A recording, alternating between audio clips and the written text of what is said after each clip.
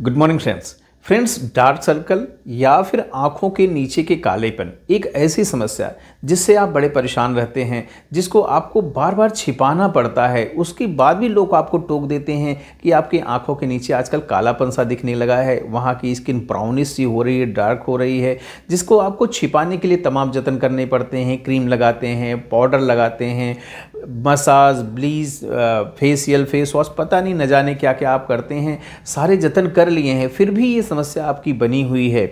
जो एक ऐसी समस्या जो आपके चेहरे के ग्लो को कम कर दे रही है। आपका अच्छा भला चेहरे का ग्लो कम हो जा रहा है। एक ऐसी समस्या जिसकी वजह से आप अपने उम्र से ज़्यादा के दिखने लगे हैं। एक ऐसी समस्या जिसकी वजह से आपका चेहरे, चेहरा हमेशा थका थका सा लगता है टायर्ड सा लगता है। एक ऐसी समस्या जिसकी वजह से आपका सारा ग्लो थोड़ा सा डाउन हो रहा है। आज हम इसी महत्वपूर्ण टॉपिक के ऊपर चर्चा करेंगे, महत्वपूर्ण बीमारी के ऊपर चर्चा करेंगे। ये जानेंगे कि ये समस्या क्यों डेवलप होती है, क्या इसके कारण है जिसकी वजह से ये समस्या हमें डेवलप हो गई है, जिसको मैं ठीक करके सेल्फ ठीक हो सकता हूँ, या फिर मैं ईजिली ठीक हो सकता हूँ। कारणों के साथ साथ मैं आपको ये भी बताऊँगा, इस समस्या पे जो सबसे असरदार तीन होम्योपैथिक दवाइयाँ होती हैं, उनकी इन्फॉर्मेशन दूँगा कि किस कंडीशन में उन दवाओं को आप यूज़ कर सकते हैं, जो आपको बेस्ट रिज़ल्ट दे। तो डियर फ्रेंड्स मैं हूँ डॉक्टर एस के पांडे बहुत बहुत स्वागत है मेरी यूट्यूब चैनल पे आपका। डियर फ्रेंड्स डार्क सर्कल की समस्या एक कॉस्मेटिक प्रॉब्लम होती है मेनली कॉस्मेटिक प्रॉब्लम होती है।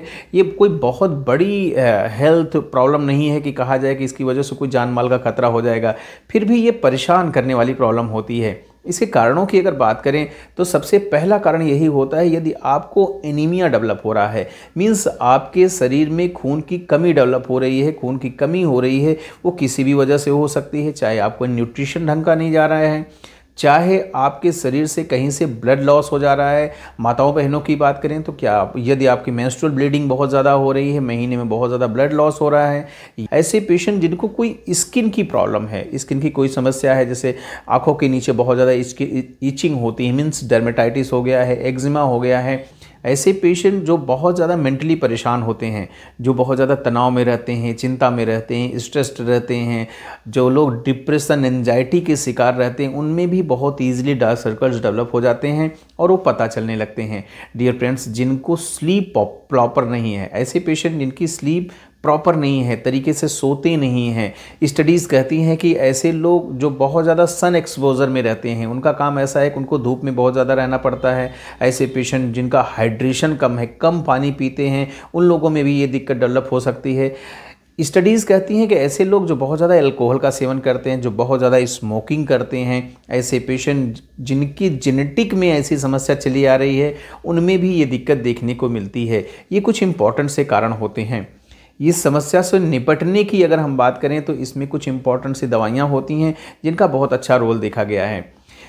इसमें सबसे पहली मेडिसिन का नाम जो आता है, वो होता है एसिटिक एसिड ऐसे पेशेंट जो हमेशा थका थका सा महसूस करते हैं, अपने आप को एनर्जेटिक महसूस ही नहीं करते हैं डिसएनर्जेटिक रहते हैं, हमेशा वीकनेस लगी रहती है। ऐसे पेशेंट जिनको माइंड का भी कंसंट्रेशन बड़ा अच्छा नहीं रह पाता है, ऐसे पेशेंट जिनका चेहरा पीला रहता है, जिनका चेहरे का लुक बड़ा वैक्सी सा है मीन्स बहुत ज़्यादा तैलीय त्वचा है, बहुत ऑयली स्किन है। ऐसे पेशेंट जो बहुत ज़्यादा अपने पार्टनर के साथ, अपने वाइफ के साथ फिजिकली इंडल्स रहते हैं, बहुत ज़्यादा इंडल्स रहते हैं ऐसे पेशेंट जो किसी वजह से बहुत ज़्यादा तनाव या चिंता में रह रहे हैं। उन लोगों में एस्टिक एसिड अच्छा काम करती है। इस मेडिसिन की थर्टी पोटेंसी की चार चार बूंदे सुबह, दोपहर, शाम तीन बार लेने से अच्छा रिज़ल्ट आपको मिल सकता है। नेक्स्ट मेडिसिन का नाम आता है फेरामेट ऐसे पेशेंट जिनको एनीमिया है, खून की कमी है और उनमें डार्क सर्कल्स डेवलप हो रहे हैं और वो डे बाय डे इंक्रीज करते जा रहे हैं। यदि माताओं बहनों की बात करें तो हो सकता है वो मेंस्ट्रुअल ब्लड बहुत ज़्यादा निकल रहा हो या फिर खाने में खाने में आयरन की कमी आ जा रही हो एनीमिया डेवलप हो गया हो। मेडिसिन की सिक्स एक्स पोटेंसी लेनी है और चार चार बूंदे सुबह दोपहर शाम तीन बार लीजिए।